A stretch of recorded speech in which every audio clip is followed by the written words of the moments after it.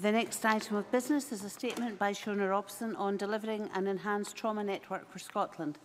The Cabinet Secretary will take questions at the end of her statement and so there should be no interventions or interruptions.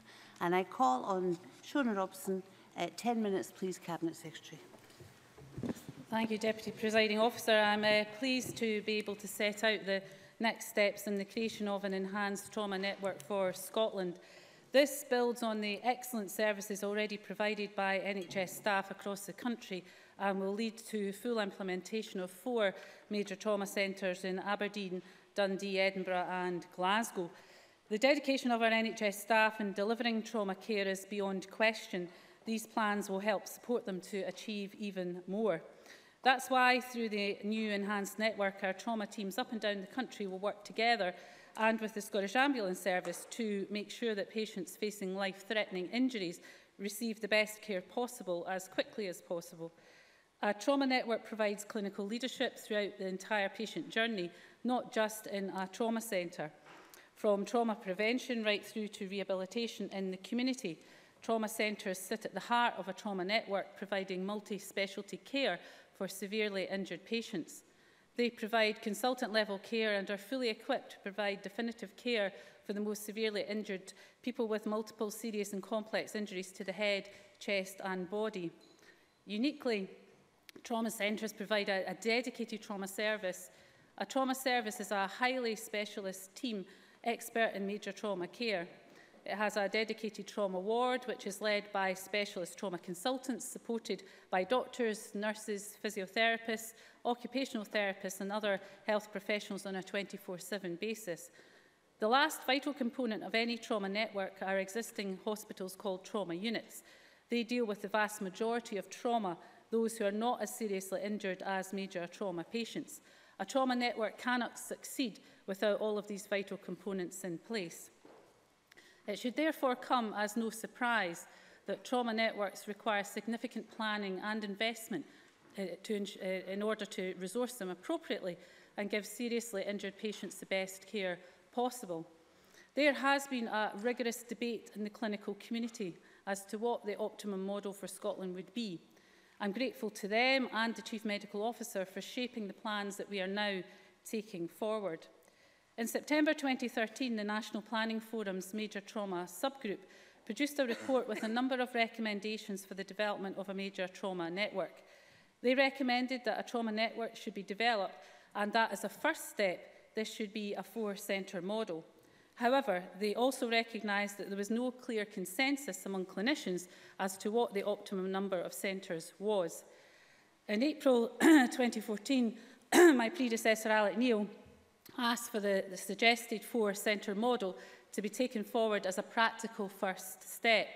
But in line with the 2013 National Planning Forum report, we knew that the findings of the Geospatial Evaluation of Systems of Trauma Care, or GEOS, study should be taken into account when considering future configurations of a trauma network in Scotland, including whether the number of major trauma centres can and should be reduced further from four major trauma centres and where the optimal locations might be.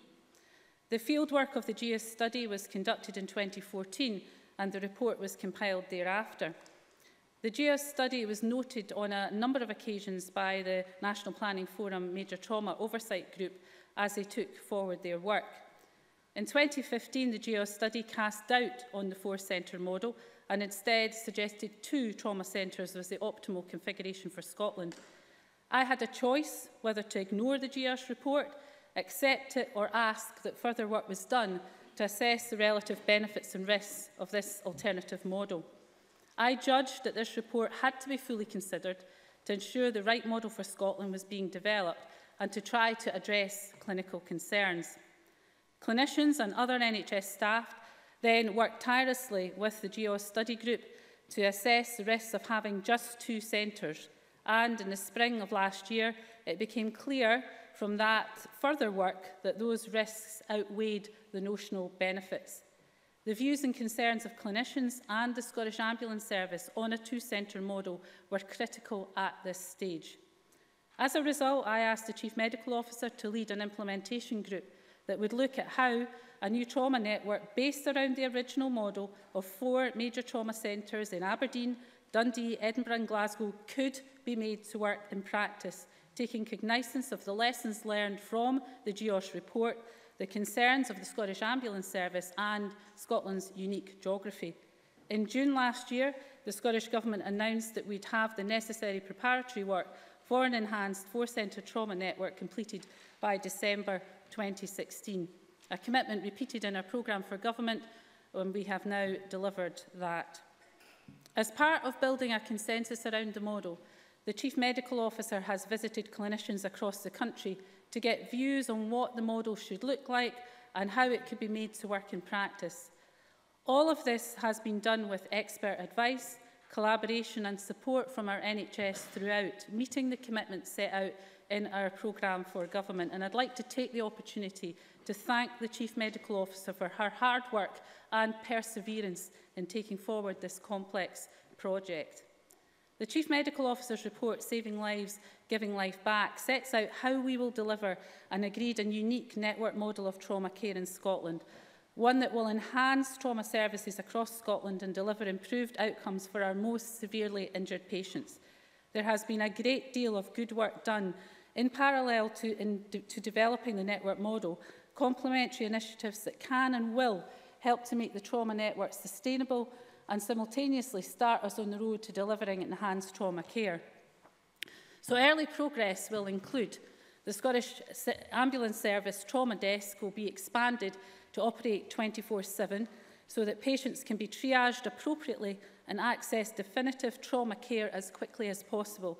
The trauma desk will be up and running by October a triage tool that helps paramedics quickly identify major trauma patients and tells them where they should be taken will be tested in the summer. The Scottish Ambulance Service are going to recruit additional staff with the aim of having staff in place by July. And vital trauma equipment for all um, Scottish Ambulance Service vehicles has already been procured and it will be in universal use by the end of February of this year. We also anticipate that both Aberdeen and Dundee taking a shorter period of time to establish trauma centres over the next 12 to 18 months. This will be guided by the Scottish Trauma Network Steering Group and set out in a national phased implementation plan later this year.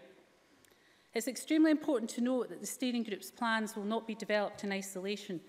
Clinicians from all regions, including Aberdeen and Dundee, have been fully involved in the development of the network model and will continue to be fully involved as the network develops. The new trauma network model and the way forward is now fully supported by healthcare professionals across Scotland and the Scottish Ambulance Service. They will continue to work with the new network steering group and the trauma centres and hospitals within their area to deliver the changes needed. We're investing an extra £5 million in 2017-18 to accelerate these improvements – Over the lifetime of implementation, the anticipated cost of the new enhanced network and four centre model is approximately £30 million. The final cost will be informed by the development of the network steering group's plans. This new network will not only benefit people with major trauma. 6,000 of Scotland's seriously injured patients each year, of whom around 1,100 will have major trauma injuries, will benefit. And once fully operational, we expect an additional 40 lives can be saved but many more will go on to have an improved quality of life due to improved rehabilitation pathways. If members still have any doubt about the scale and complexity of what we're trying to achieve, I would urge them to speak to the doctors and NHS staff that have been involved in developing this network model. The 11th of January marked an important day in changing trauma care in Scotland for the better. Through the, this network, we will provide world-class trauma care that will save more lives and help thousands more people make a better recovery and get on with their everyday lives. I'm confident that the right model has come out of all of this work and that this will enhance our trauma services and save more lives uh, every year. I'm proud of the efforts of our NHS staff who have, who have helped us steer through this very complex and difficult process and I'm very happy to take questions on this statement. The Cabinet Secretary will now take questions on the issues raised in her statement and I'll allow around 20 minutes for questions. A lot of people want to ask them, so please would all participants bear that in mind. Uh, it would be helpful if members who wish to ask a question were to press the request to speak buttons now. And I call on Donald Cameron.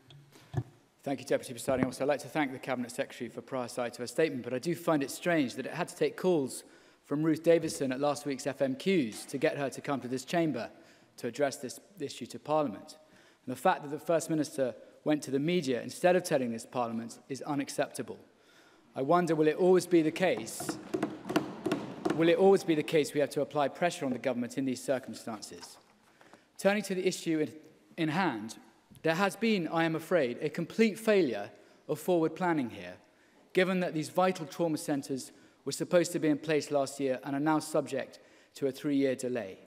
That delay is intolerable because these are quite literally life-saving centres whose very existence for those with severe injuries will often make all the difference between life and death, as the statement recognises. Given that the week ending the 8th of January 2017 revealed the worst NE figures since March 2015, and the Scottish Ambulance Service tells us that ambulances are struggling to attend life-threatening call-outs quickly enough, there is clearly serious pressure on the whole A&E and trauma system. So further delay to these trauma centres is just about the last thing the system needs. There is a distinct lack of clarity on another issue. The Scottish Government didn't know how much the new network was going to cost. Not our words, but those of the Scottish Government who told Spice last week that the cost of the Scottish Trauma Network have yet to be determined. We have now learned that the network could cost up to 30 million to establish, but we don't know what the running costs will be.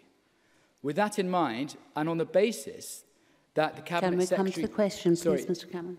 On the basis that the Cabinet Secretary states the necessary preparatory work is complete, presumably she's in a position to confirm what the expected yearly operating costs are for this service.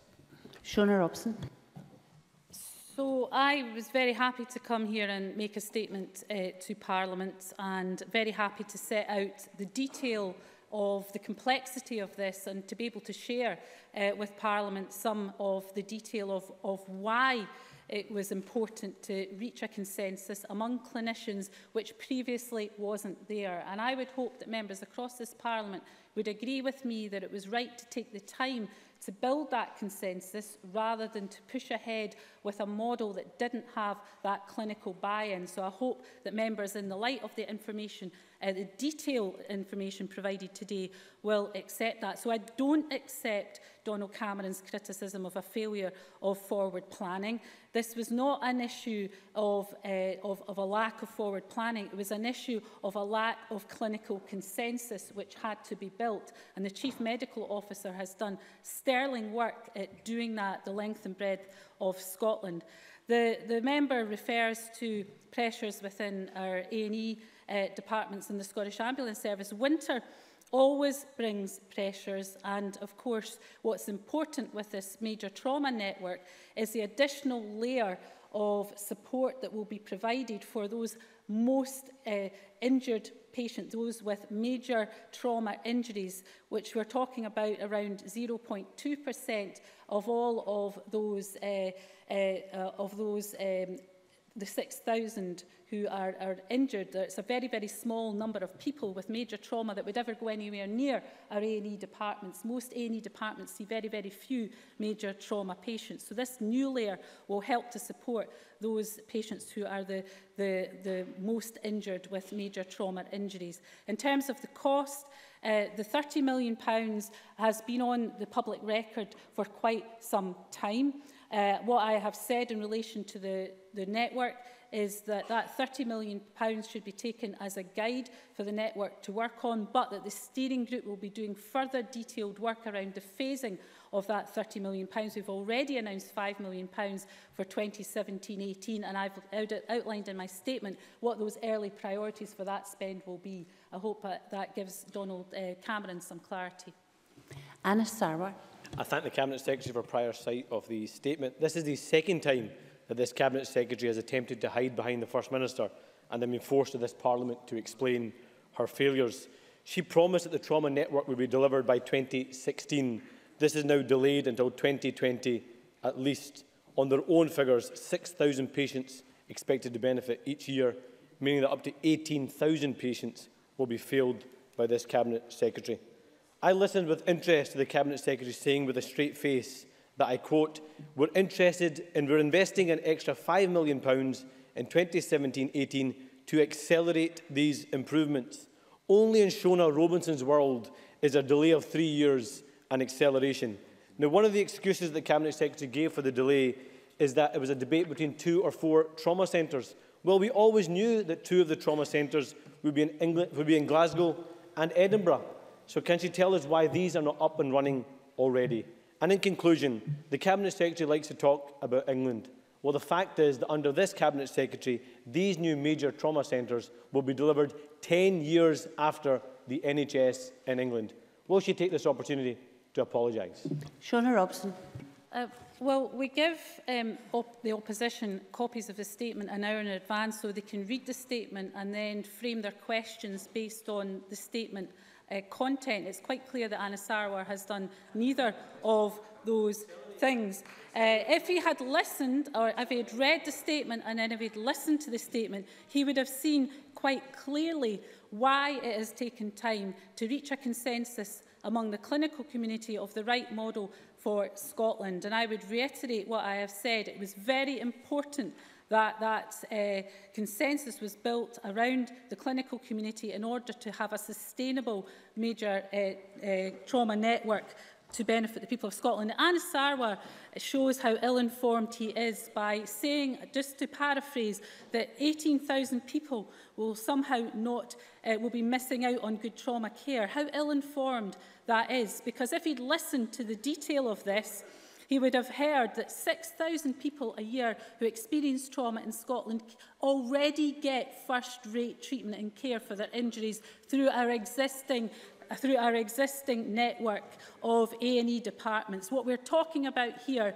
is the 1,100 people within that 6,000 who have major trauma injuries. If he'd listened to the detail and read the statement, he would have seen that detail. What we're talking about is 1,100 people with major trauma injuries who will be treated within these new major trauma networks. They already get excellent care. What this is about is providing optimal care and importantly about rehabilitation. Perhaps if Anis Sarwar listened to anyone other than himself, he might learn something for this.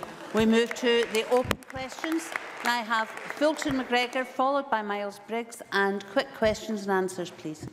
Thank you, President Officer. I'd like to take this opportunity to remind the Chamber that I am the Parliamentary Liaison Officer for the Cabinet Secretary. To ask the Scottish Government when the four trauma regions will have detailed implementation plans in place. Shona Robson.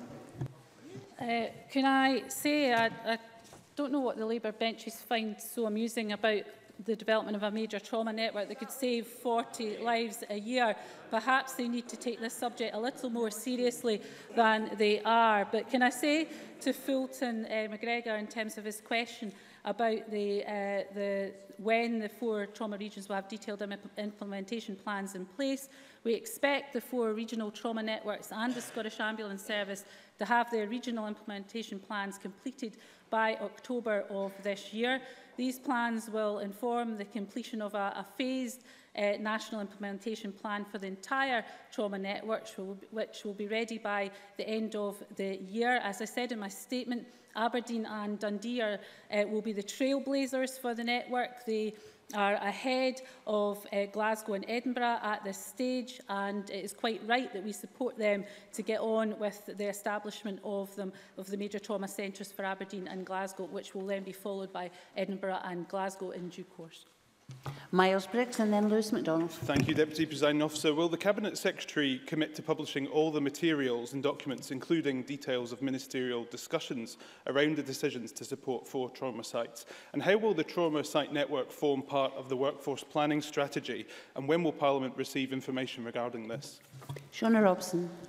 Uh, well, can I say to, to Miles Briggs that Quite a lot of this information is already in the public domain. The, the GEOS study, for example, is already in the public domain. So a lot of that material is already in the public domain. But if there's other material that would be helpful uh, to Miles Briggs and others, then I'll certainly look uh, at his request.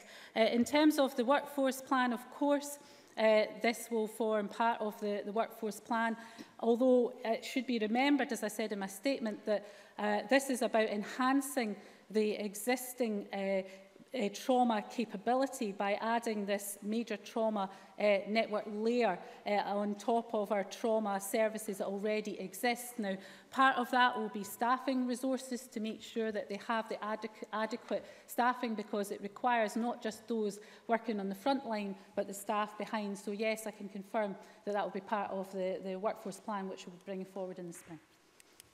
Lewis MacDonald and then Alex Cole-Hamilton. I hope the Cabinet Secretary, having uh, no doubt spoken as I have to those involved in developing plans for a major trauma centre in Aberdeen, will understand their frustration uh, that even at this stage the government is not yet ready to go. However, I've read closely Catherine Calderwood's report published last week and I listened closely to what she had to say. If indeed Aberdeen Royal Infirmary will be ready to provide a dedicated new trauma ward this year, if indeed a full-blown major trauma centre could be established at Forrester Hill within the next 12 to 18 months. What, what is holding up uh, these deployments going forward? Is the issue, as Catherine Calderwood seems to say, uh, that staffing is a constraint? Why will she not now put in place the regional trauma network for the north of Scotland that she's talked about? What is to prevent that happening now? Shona Robson. Uh, well, can I say I think there would have been a great deal more frustration uh, in Aberdeen in the North East, had we gone ahead with the two-centre model, that came to my desk which we had to give consideration to because, well, the, the member says, why? Well, when a group of clinicians come and cast doubt on the sustainability of a clinical model that you're pursuing, it would be quite reckless not to listen to that clinical advice. What we then had to do, though, was to try to build and rebuild a consensus around the four-centre model, which is what the Chief Medical Officer has taken forward with the clinical community, and we now have that, and that's very important if we're going to have a model that is sustainable. And of course, it is unique and bespoke to Scotland. It's not based on centres and networks elsewhere, based on major populations. It takes into account very much Scotland's unique geography. Now, in terms of taking forward Aberdeen and Dundee, as I've said, the 12 to 18 month time frame uh, I think is realistic for the, the two centres that are, I, I think, out of, the, out of the, the stocks most quickly. They are very keen to get up and running. The steering group will be setting out uh, the work that needs to be taken uh, over the next few months. As I laid out in my statement, an important component of that before anything else happens is the Scottish Ambulance Service having their 24-7 trauma desk and making sure that as a triage service, they uh, have their enhanced services in place. I would then want to see very quickly the detail of how Aberdeen and Dundee will be getting up and running, getting the trauma wards up and running, getting the staffing in place. So very happy to keep Lewis MacDonald informed of some of the detail of that as we take it forward. I'm sure the CMO will do likewise. Alex Paul Hamilton, followed by Claire Hawkey. Thank you, Deputy Presiding Officer, and I thank the Cabinet Secretary for an advance copy of her statement. With increasing pressure on every aspect of primary and acute care, getting triage right will be absolutely essential, and I welcome the improvements outlined in the statement to that end. When the last trauma survey was conducted in the 1990s, the injury severity scale was calibrated so that scores of 16 or more on that scale were classified as serious trauma. Despite advances in triage around head trauma, head injury of any magnitude is still always given an automatic score of 16. To prevent inundation of our new trauma centres for, from the automatic, automatic referral peripheral of head injury when patient could receive exemplary and appropriate care in local hospitals, will the Cabinet Secretary commit to reviewing the injury severity scale in respect of head injury to take account of advances in triage in that area, whilst not, of course, compromising on patient safety? Shona Robson. Uh, Well, I mean, I'm happy to, to write to Alex Cole-Hamilton around the detail of his question, but I think we have to be very clear here that the definition of major trauma is is very specific. These are the 1,100 cases within the 6,000 uh, serious injuries that have that involve major trauma, including major uh, head injuries and major trauma to, to the head. So it is a very specific uh, group of patients who require the services of uh, major trauma teams. And uh, as I say, very happy to write to Alex Cole Hamilton, but hopefully uh, he will appreciate that we're talking about a very small number of people out of those who uh, uh have serious injuries. Claire Hockey, followed by Ross Thompson. Thank you, Presiding Officer. To ask the Scottish Government how effective communications on the development of the new network will be delivered to both clinicians and the public. Shona um, Robson. Yep, can I uh, say to Claire Hockey that the new Scottish Trauma Network Steering Group will work closely with clinicians and NHS staff from the four trauma regions to maintain effective communications to ensure that the National Trauma Network is implemented The new Scottish Trauma Network website will also serve as an effective communications, will serve as, a, as an effective communications tool which will help to, for example, keep clinicians and the public informed and indeed members of this Parliament informed as the network develops. The new trauma website is available at uh, traumacare.scot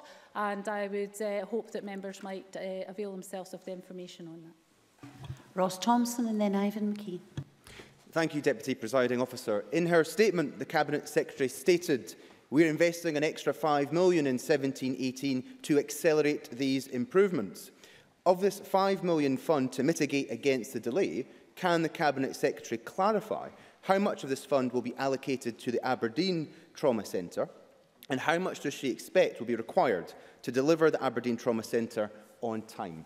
Shauna Robson.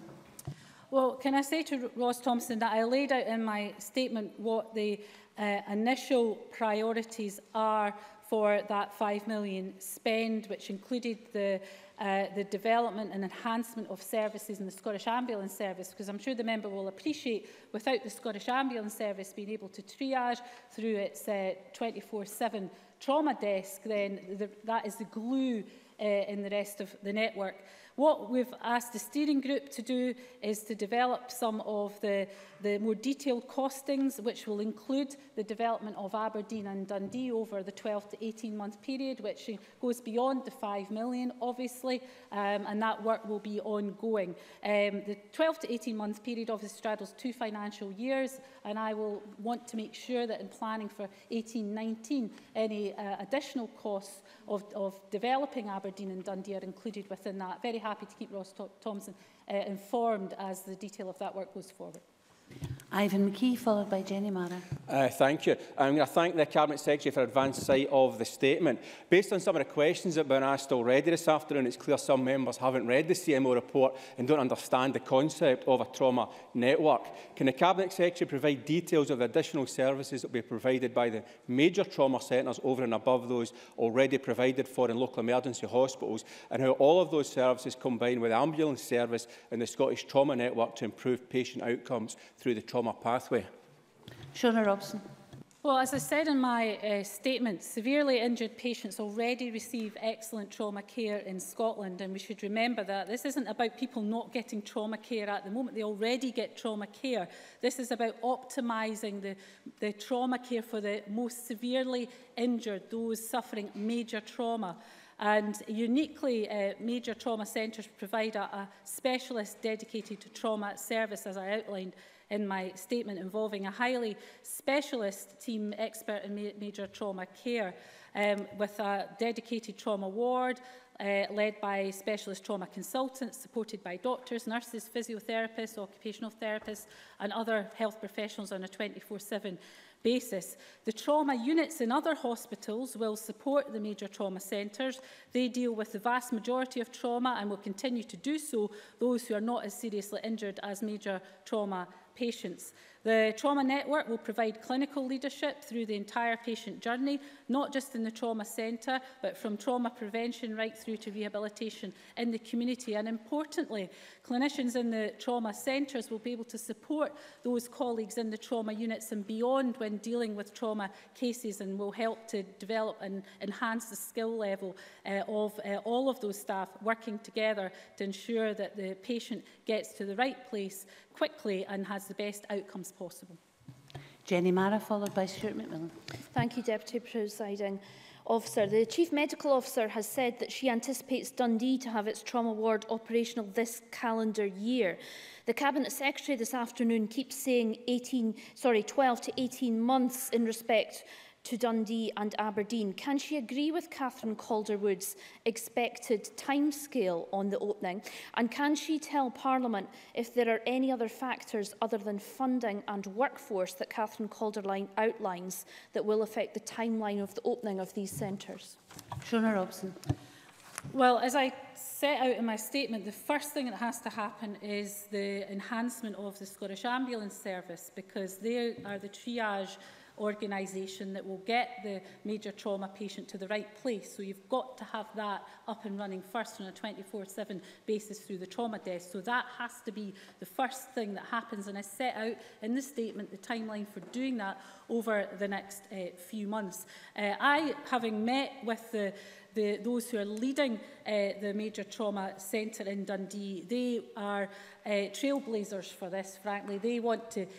get on with delivering the centre in Dundee. They are very keen. They are getting on with the job. Some things have already changed and are already in place that wasn't there previously to enhance the patient uh, um, experience within Nine Wells of, of patients who have suffered major trauma. So improvements have already been made. So yes, I can confirm that. Um, and uh, the issues of funding and workforce um, are I mean, in the main, this is about making sure that they have the equipment and that they have the skills uh, available to them. And most of those skill sets are already there, but it will have to be enhanced, and Dundee are looking at that at the moment in terms of what new uh, staffing will be required to deliver this centre. But I'm very optimistic that it can be delivered within the CMO's timescale. The last of the questions, I'm afraid. Uh, Stuart McMillan, very quickly, please. Thank you, Presiding Officer. Uh, Presiding Officer, the statement uh, indicates the lifetime implementation cost will be approximately £30 million. Pounds. But can the Cabinet Secretary tell me how investment in the trauma network in future years will be determined? Shona Robson. Uh, well, as I've uh, said uh, already today, the, the detail of the, the costings uh, will be developed by the steering group. The 30 million uh, figure is one that has been on the public record for quite some time, and I'm happy to confirm that as a, a guideline budget. But within that, the phasing of the spend over uh, the, the next three years is going to be important in the detail of that, given that what we're talking about here is a, a network that is quite different from the original model envisaged uh, will have to be done. So that detailed work will be taken forward by the steering group. Again, very happy to keep Parliament updated on that.